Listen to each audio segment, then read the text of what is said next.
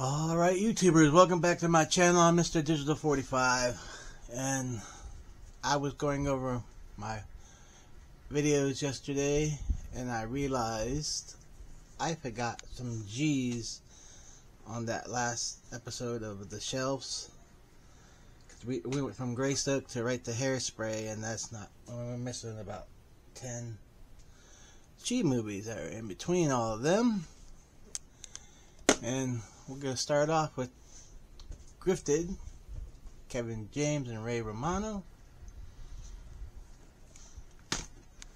And then we got The Grifters, John Cusack, Anjelica Huston, and Annette Bening. This is my favorite uh, John Cusack movie. This one and uh, Grosse Pointe Blank, which I think is in this pile. Then we got the Grissom Gang. Kim Darby and uh, Scott Wilson is in that one. And like I said, we got Grosse Pointe Blank next with John Cusack. The Grifters and this one is my two favorite ones with John Cusack. And Better Off Dead is the other one. I really love that one too. But Alright, next up we got Bill Murray and Andie MacDowell and Groundhog Day.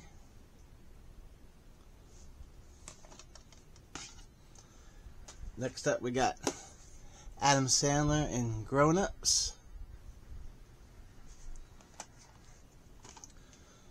Followed by Grown Ups 2. Adam Sandler and the gang is back.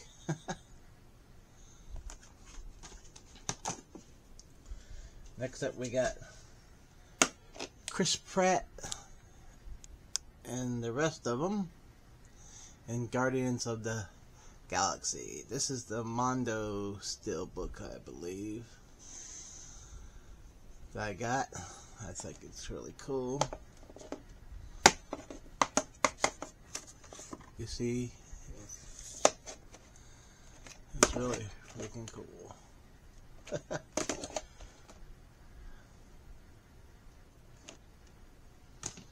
Next up, we got our favorite space heroes again in Guardians of the Galaxy Volume 2.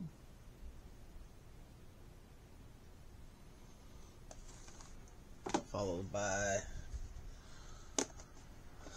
Guardians uh, Guardians of the Galaxy Volume 3. This is the one that I don't have a slipcover for. I will get it. I ordered it through the mail and then give me a slipcover. I was kind of mad.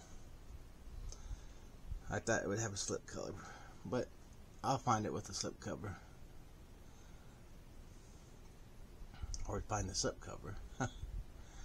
One to two.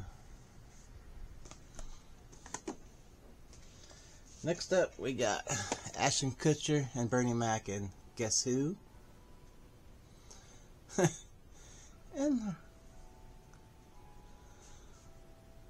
our girl from Guardians of the Galaxy. Zoe Saldana.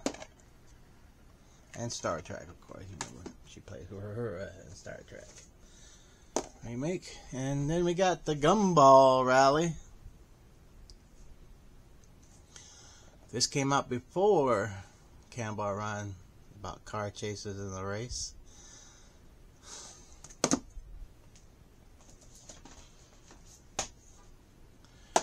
Next up we got Gunfight.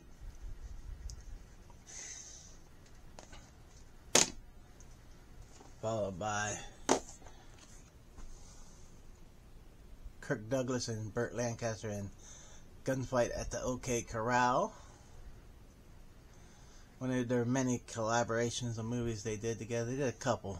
And they usually all were all good, very, very good movies. Seven Days in May.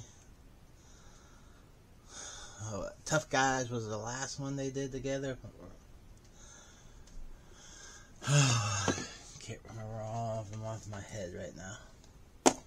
Next up, we got Guns for Hire.